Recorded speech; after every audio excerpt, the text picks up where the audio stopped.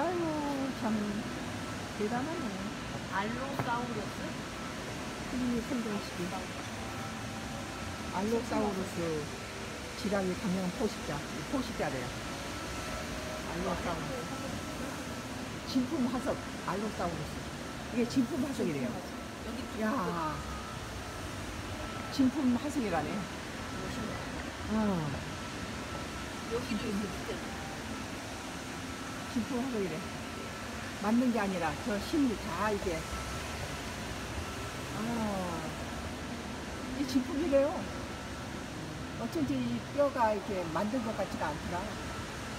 날렵해요, 뼈가. 석고라든지 시멘트를 바른 게 아니고, 진품을 보호하기 위해서 이렇게 지지대도 세워졌네.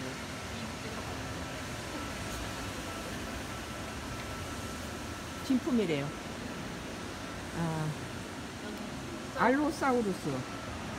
알로사우루스는 진품이에요. 진품, 진품 하석 알로사우루스. 여기에 근데.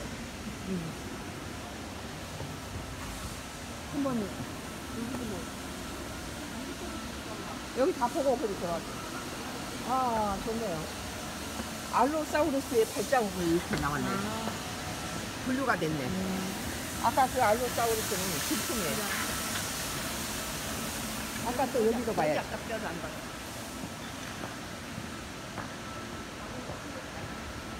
아, 이좀 봐요. 음. 아까 그, 여기는 코일로피시스, 플라테오사우루스. 이건 코일로피시스와 작은 거 포일, 코일로피시스고, 플라테오사우루스.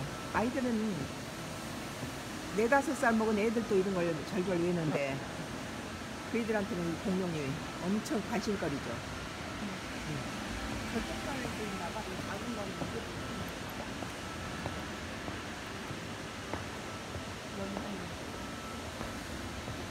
이거 헤라라사우루스. 응. 헤라라사우루스. 이거, 이건가 봐요.